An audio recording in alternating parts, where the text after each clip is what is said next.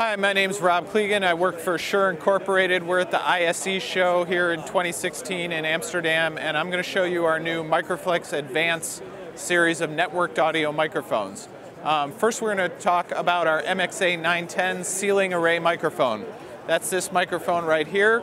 This is the aluminum version. It also comes in black, and it also comes in white.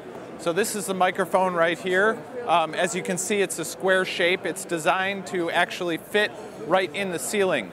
All these microphones are designed specifically for audio video conferencing. So this microphone can actually replace a ceiling tile and just go right in and capture the audio from your meeting room. Here's what the back looks like. Um, there's many ways to mount it if you don't have that ceiling tile.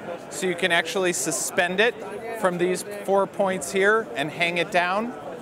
Or there's a standard VESA mount right here, so you can put a pole mount and mount it the same way you would a projector. So it's very easy, it's very light, um, and it sounds great. So in terms of the actual connectivity for this microphone, it's got a single Ethernet connector this is a Dante microphone. All the new Microflex Advanced products are all based around Dante audio. It's powered by power over ethernet, so one cable handles your control, your audio, and your power. It can also be controlled via third-party control systems using standard ethernet commands, so you can have your touch panel talk to this microphone as well.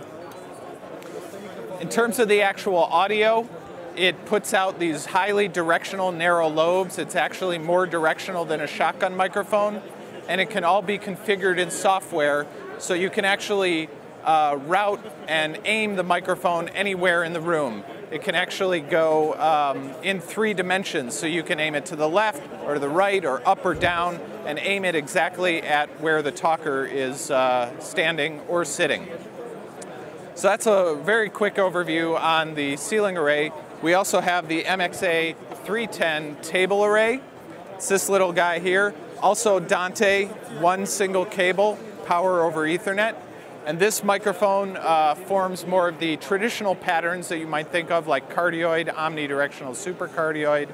But because it's digital, it can actually form multiple, multiple patterns at the same time. So it's a four channel microphone that can be at the same time cardioid or omni or supercardioid. But what's really cool about this microphone is a brand new polar pattern called the toroid. We also like to call it the donut pattern. And what this does is it picks up all around the microphone, so when you're seated, it gets everybody at the table, but it has a null, a rejection from the top. So any noise coming from overhead, from projectors or heating or cooling systems, the microphone does not pick that up while only picking up the talkers. So that's a little bit about the table array microphone. And last but certainly not least are our Dante interface boxes.